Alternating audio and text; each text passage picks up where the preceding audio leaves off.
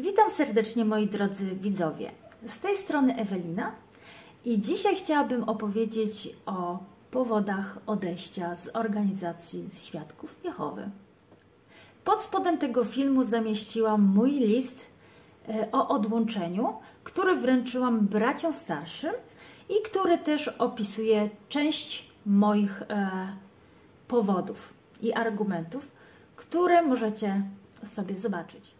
Oczywiście zachęcam świadków Jehowy do przeczytania tego listu, ponieważ większość świadków Jehowy nawet nie ma pojęcia, że takie listy są, że takie listy się pisze i e, nie mówi się świadkom Jehowy, że są bracia, którzy po prostu odchodzą z organizacji, bo coś tam w niej odkryli. Dlatego... Jeszcze mam jedną informację dla osób, które o tym nie wiedzą, e, że e, świad u świadków Jehowy w organizacji właśnie jest e, dualizm, takie postrzeganie świata przez zło i dobro.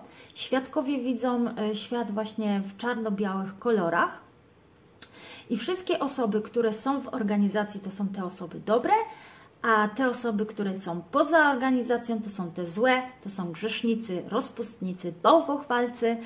E, do nich też należą osoby, które są wykluczone i które same odeszły. I tym osobom, które same odeszły, właśnie przypina się taką e, łatkę grzeszników, rozpustników, oszczerców i kłamców.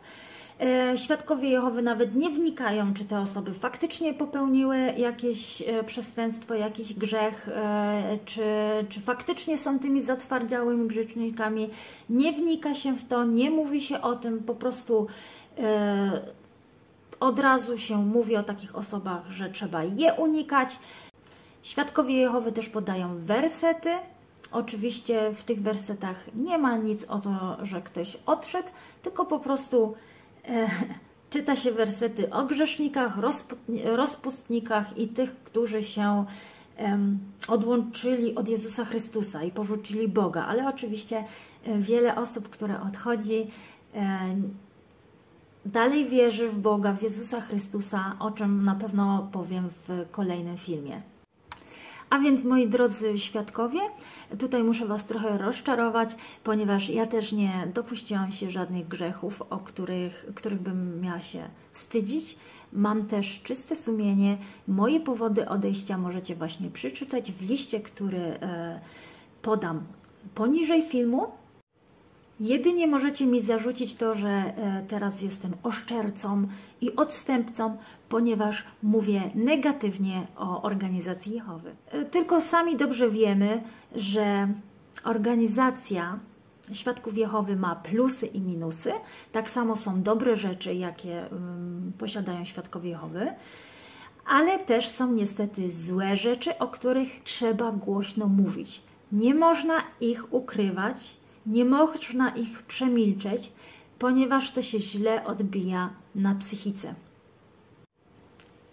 Oczywiście wiele osób może zarzucić e, i też e, można, zadać takie pytanie, dlaczego ja wcześniej nie mówiłam źle o organizacji Jehowy? Dlaczego mówię dopiero po wyjściu o organizacji źle? Sprawa jest bardzo prosta, ponieważ świadkowie Jehowy są zastraszani. E, tu panuje taki sam mechanizm jak e, za czasów komuny. Każdy, kto przeżył komunę lub trochę się interesuje tymi czasami, doskonale wie, że na temat władzy, na temat rządu, na temat swoich przywódców nie mówi się źle, tylko mówi się wszystko, co jest dobre. Zamówienie złych informacji, złych postanowień i zamówienie złych rzeczy o przywódcach można było liczyć się właśnie z konsekwencjami, z karami lub nawet z więzieniem. To samo jest u świadków Jehowy. Jeżeli zaczniesz źle mówić o organizacji lub o krzywdach, jakie ci się tam dzieją, jeżeli zaczniesz e, mówić o błędach organizacji lub e, jakichś niedociągnięciach, lub jakichś e, problemach e, i przewinieniach ciała kierowniczego starszych lub braci, może, mogą Cię czekać konsekwencje, możesz być wykluczony nawet, e, możesz być zdjęty z przywilejów e, lub po prostu mogą Ci przypiąć łatkę słabego duchowo i po prostu bracia przestaną się z Tobą zadawać. A dzieje się to dlatego, że świadkowie Jehowy mają wpojone, że mówienie o braciach i o starszych oraz o ciele, kierowniczym jest coś bardzo złego, za co może spotkać Cię kara.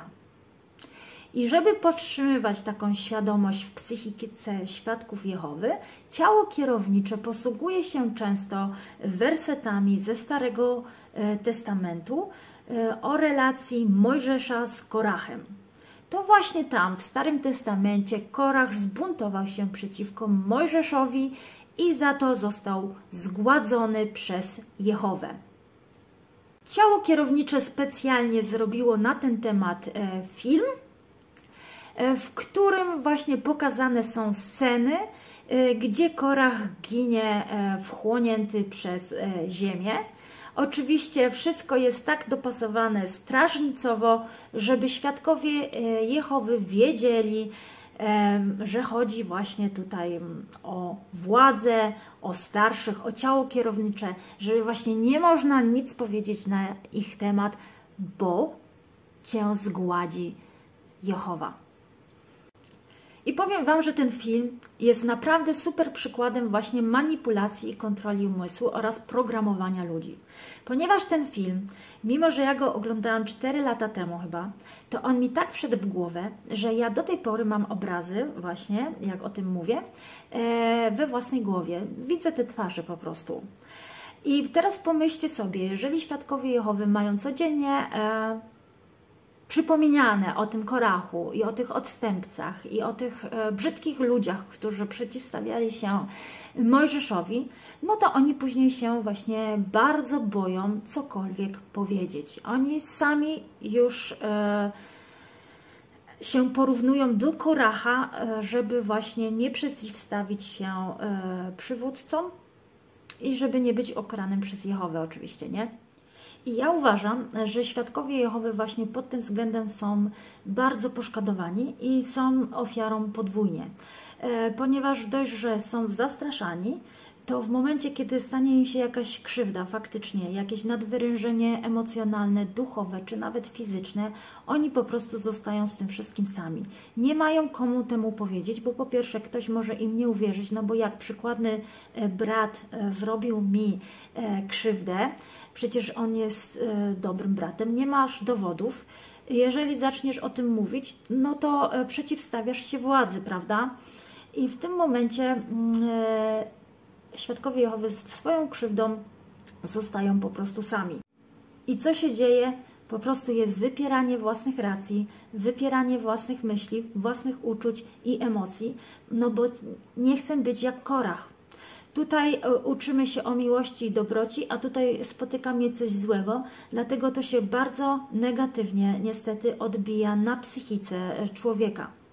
I ja, będąc e, w zborze Świadków Jehowy, właśnie zobaczyłam, że wiele braci cierpi z tego powodu, że widzą, że coś się źle dzieje, widzą, że w organizacji źle się dzieje i panują w zborach różne jakieś E, problemy, ale nie mogą nikomu o tym powiedzieć, nie mogą nikomu się pożalić, no bo mogą być uznani właśnie za odstępców, za jakichś e, słabych duchowo. I dlatego zauważyłam, że świadkowie Jehowy mają właśnie też problem z alkoholem, e, też są tam nałogi, dużo, dużo świadków Jehowy nadużywa alkoholu, no bo wiadomo, E, jakieś ujście musi być tych wszystkich emocji. E, trzeba to też jakoś stłumić. jeżeli chodzi o nasze odejście, to nie było to z dnia na dzień, tylko po prostu z roku na rok, z miesiąca na miesiąc dostrzegaliśmy jakieś sytuacje, które po prostu dawały nam e, do myślenia. Na przykład przez ostatnie dwa lata bardzo dużo mówiło się o pieniądzach. Bardzo dużo mówiło się o finansach, o e, darowiznach. Na każdym spotkaniu, na każdych prawie e, potrzebach zboru e, w strażnicy omawiało się, jak można przekazać pieniądze braciom.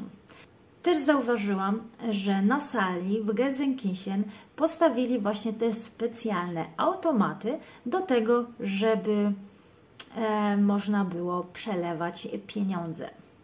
Ja rozumiem, że pieniądze są potrzebne i organizacja musi też z czegoś się utrzymywać, ale bez przesady, moi drodzy. Nie non-stop na każdym zebraniu wykłady piękne o wdowim groszu, że jak ta wdowa była biedna, ale wierna i dawała jeden pieniążek, wy możecie dać więcej. No proszę was, kochani, no to już jest troszkę za dużo, prawda? Ciągle daj, daj, daj. Od początku pobytu e, w organizacji e, Świadków Jehowy e, właśnie czułam presję, dróg, że ja ciągle muszę coś zrobić. Muszę chodzić na zebrania regularnie. Muszę czytać, jako zainteresowana muszę podkreślać, muszę się przygotowywać. E, muszę e, być na każdym zebraniu, muszę być na każdej zbiórce, muszę umawiać się z braćmi, e, muszę, muszę się zgłaszać, muszę mieć dużo godzin.